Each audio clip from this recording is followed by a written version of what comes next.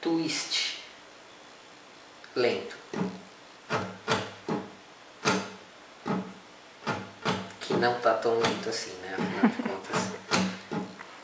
Já dá pra ter uma ideia. Um pouquinho mais rápido.